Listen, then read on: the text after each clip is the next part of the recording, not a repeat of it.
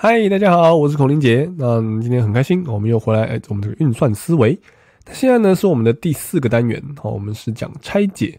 那大家还记得我们前面有什么单元吗？那这个课程简介也就也就罢了啊。我们基本上有什么？我们有这个呃，一开始抽象化，第二个呢演算法。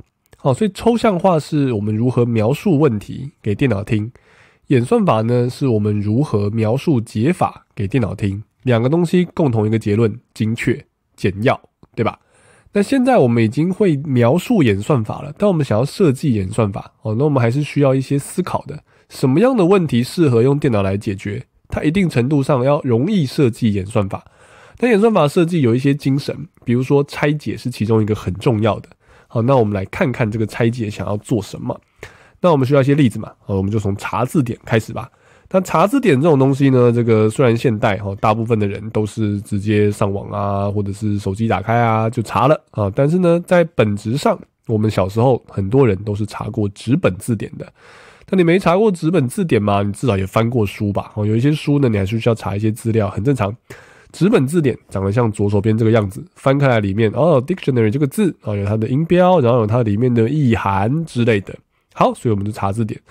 那查字典这件事情其实是真的是蛮困难的哦，至少在纸本字典的时代，真的是很不方便。你们左翻啊，右翻啊，比谁动作快啊，这样子。我小时候还参加过查字典比赛，嘿，而且还输了，对吧？哦，确实是很困难。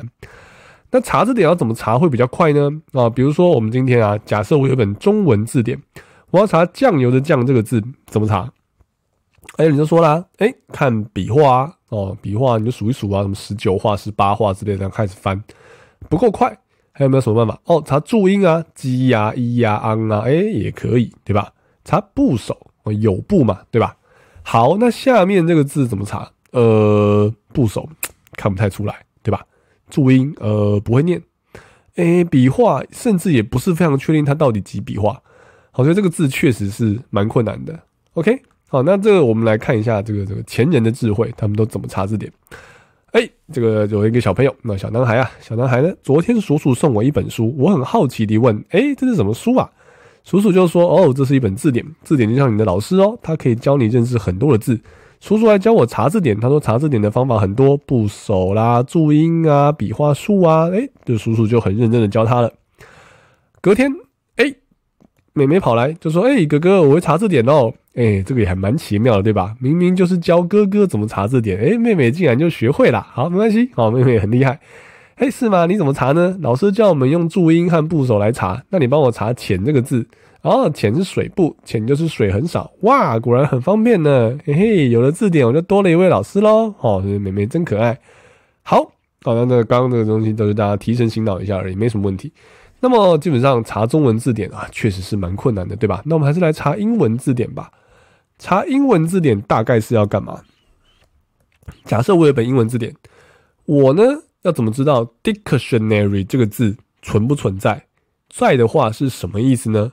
或者是我要怎么查 supermodularization 这个字存不存在？在的话是什么意思呢？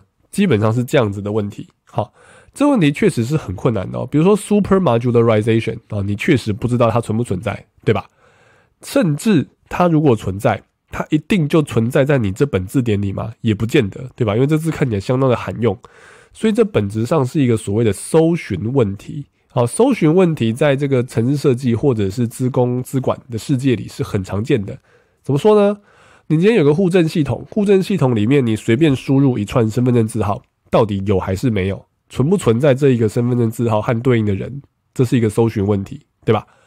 那今天呢，在比如说这个你的联络人里面，好，你打了一串电话号码，诶，到底有没有这样的一个联络人，在你的 LINE 上面的通讯群组里面输入了昵称，或者是输入了这个呃，或者是你想要找用账号找一个人，你就在搜寻的地方输入了 ID，到底在全世界安装 LINE 的人之中有没有人的 ID 是这个 ID？这都是搜寻问题，搜寻问题必然得要有办法处理。不然的话，那这些应用都没办法做喽。那搜寻可以怎么搜寻呢？以查字典来说啊，我们有一个演算法叫做 linear search 啊，叫做线性搜寻。大概什么意思嘞？啊，就简单啊，就是你一页一页翻嘛，哦，反正字典嘛，字典就一本在那边，它是有极限的，对吧？一页一页翻，一条一条看，要是有就有，翻到尽头都没有就是没有。那这方法很慢，但是很有效。你就把整本字典翻完，终究会得到答案的。所以这个演算法正确，它终究会得到答案。但这个演算法呢很有效，但是又很慢，对吧？一本字典那么大，你一个一个翻，要翻到什么时候啊 lie 使用 lie 的人几千万啊，甚至搞不好有上亿。你打一个 ID 进去，他要判断这个东西到底存不存在，哇，一个一个看要看到什么时候啊？所以呢，恐怕需要有更好的演算法。等一下，我们就基于所谓的拆解来一个更好的演算吧。